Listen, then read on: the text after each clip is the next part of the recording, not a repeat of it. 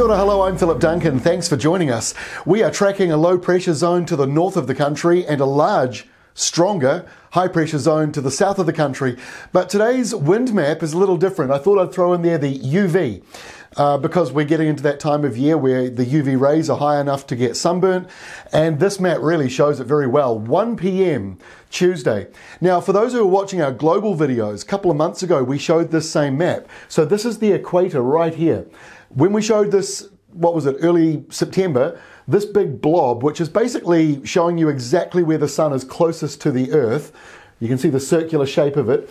Um, this was north of the equator. So in the last two months, it has gone from being mostly north of the equator to now south, and that's because the Earth is tilting, and we're going to get more and more direct sunlight over the next two months as we approach the longest day of the year. So the big purple blob, which is the highest amount of UV rays, will continue to slide down towards New Zealand more and more. We've already got very high UV levels in the north of the country at the moment anyway.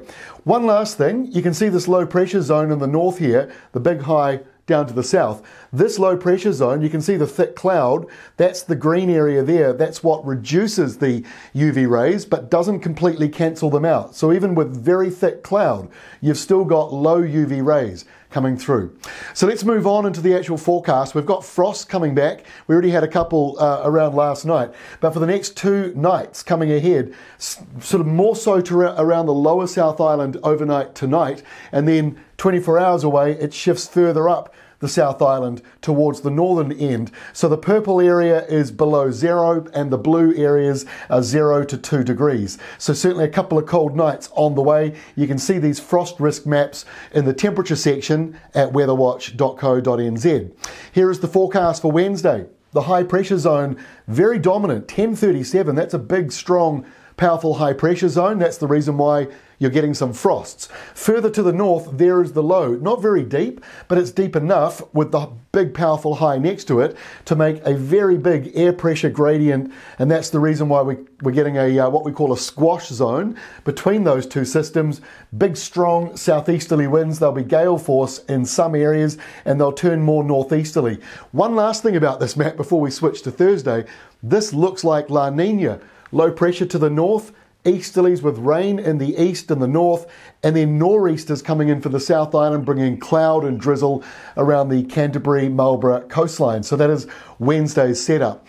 As we move into Thursday, there isn't a great deal of change, but the high pressure belt still over the South Island.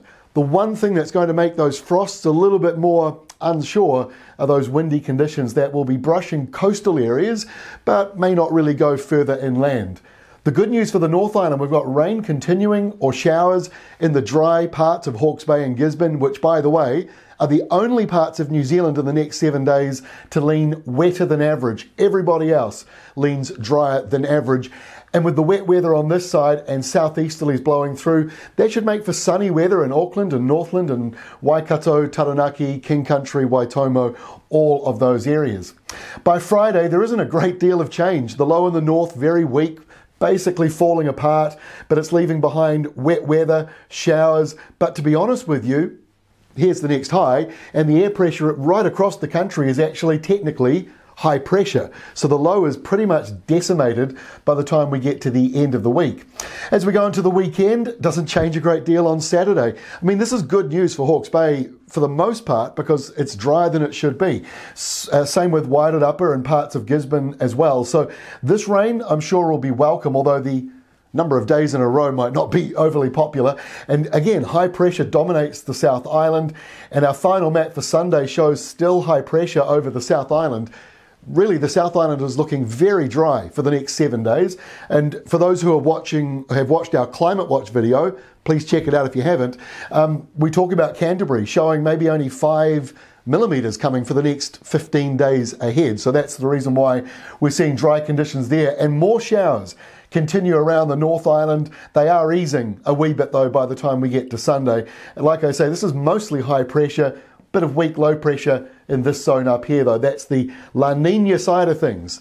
We might be getting a bit more of that over the next few months. And like I say, our uh, Climate Watch video covers that in a lot more detail. That's all from me. Have a great rest of your Tuesday, and we'll see you again tomorrow, Wednesday.